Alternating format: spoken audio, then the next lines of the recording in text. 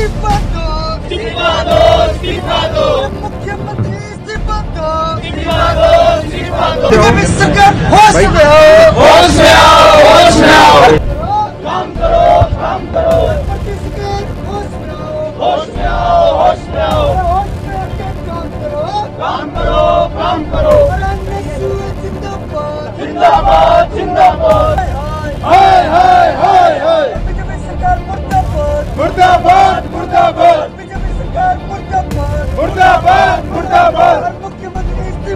सुरक्षा की बात करते हैं, अच्छे दिन आने वाले हैं, लेकिन हमारे को तो लगता नहीं है कि अच्छे दिन आए हैं। इनकी एक एमपी जो पार्लियामेंट में अभी लोकसभा की सदस्य बन के आई है, उनको मैं ये कहना चाहती हूँ कि किसान आंदोलन में तो 500 500 रुपए में महिला आ गई थी, उनके साथ रेप की घटनाएँ घटी थी। मैं उनको ये कहना चाहती हूँ, भारतीय जनता पार्टी आपको कितने में खरीद के लेके आई है? एन एनएसयूआई ने जयपुर के जेलन मार्ग स्थित राजस्थान विश्वविद्यालय के मुख्य गेट पर प्रदेश में बढ़ते दुष्कर्म के मामलों को लेकर प्रदर्शन किया। एनएसयूआई के कार्यकर्ताओं ने प्रदेश में लगातार बढ़ रहे दुष्कर्म के मामलों को लेकर भजनलाल सरकार को दोषी बताया। इस दौरान प्रदर्शनकारियों ने सरकार का पुतला भी फूका। एनएसयूआई के पदाधिकारियों ने कहा कि भाजपा के शासन में राज्य की कानून व्यवस्था पूरी तरह से बिगड़ गई है। उन्होंने आरोप लगाया कि प्रतिदिन दुष्कर्म के नए मामले सामने आ रहे हैं, जिससे जनता में आक्रोश बढ़ता जा रहा है। पदाधिकारियों ने चेतावनी दी है।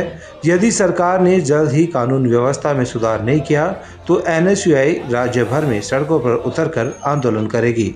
कि महिलाओं पर दिन प्रतिदिन अत्याचार बढ़ते जा रहे हैं। किस प्रकार से जोधपुर में तीन या चार साल की बच्ची के साथ रेप जैसी घटना अस्पताल में घटी है और केकड़ी जैसे क्षेत्र में, जो अजमेर का क्षेत्र है केकड़ी, उसमें एक महिला के ऊपर कैसे कुल्हाड़ी से वार करके उसकी हत्या कर दी जाती है? तो ये कहाँ की बेटी बचाओ, कहाँ की बेटी बढ़ाओ मांग करते हैं कहाँ महिलाओं की सुरक्षा की बात करते हैं? अच्छे दिन आने वाले हैं, लेकिन हमारे को तो लगता नहीं है कि अच्छे दिन आए हैं। इनकी एक एमपी जो पार्लियामेंट में अभी लोकसभा की सदस्य बन के आई है, उनको मैं ये कहना चाहती हूँ, वो स्टेटमेंट देती है कि भाई अब किसान आंदोलन हम लोगों ने किया था। कंगना रनौत जी, वो कहती है कि किसान आंदोलन में तो 500 500 रुपए में महिला आ गई थी, लेकिन मैं उनसे कहना चाहती हूँ आपको तो नशेड़ी आप तो एक नंबर की। आपको ये होश नहीं होता 2014 में देश आज़ाद हुआ था। आपको ये होश नहीं होता कि महिलाओं के साथ दिन प्रतिदिन कैसी घटनाएँ घट रही हैं। आप उनके लिए एक सेंटर की, केंद्र की सरकार से एक नीति या एक पॉलिसी या एक रूल की मांग नहीं कर सकती ताकि उनकी सुरक्षा हम लोग कर सके। तो आप कैसी रिस्पॉन्सिबिलिटी निभा रहे हैं? आप देश की सांसद हैं और वो बड़ी बड़ी डींग हाँकती है। वो बोलती हैं कि 500 500 रुपए में किसान आंदोलन में महिलाएँ आ गई थी, उनके साथ रेप की घटनाएँ घटी थी।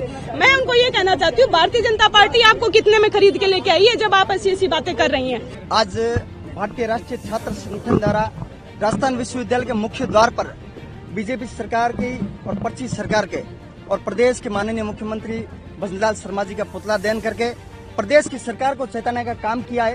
प्रदेश के अंदर दिनों दिन महिलाओं पे जो अत्याचार और महिला के दुष्कर्म के जो मामलों के अंदर बढ़ोतरी हो रही है, उसको लेके प्रदेश के मुख्यमंत्री का पुतला दहन किया है। प्रदेश की सरकार मौन है प्रदेश की सरकार के कान के अंदर जू तक रेंगने का काम नहीं हो रहा है। प्रदेश के अंदर दिनों दिन महिलाओं पे अत्याचार और दुष्कर्म तेज़ी से बढ़ोतरी हो रही है और प्रदेश की सरकार कोई भी इकबाल नहीं कर रही है। प्रदेश की सरकार सत्ता के मुँह के अंदर आराम से और सहन से सो रही है।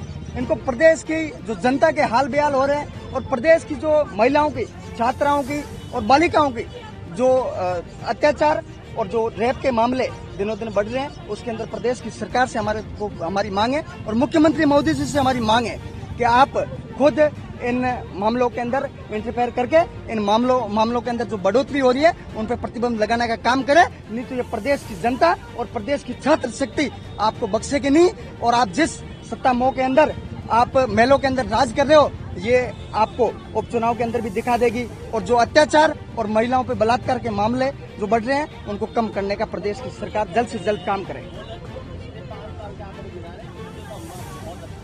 जी, जब कांग्रेस की सरकार थी और प्रदेश के अंदर माननीय अशोक गहलोत जी मुख्यमंत्री थे, तब के आप आंकड़े उठा के देखिए और जब से बीजेपी की सरकार बनी है, तब से आप आंकड़े उठा के देखिए।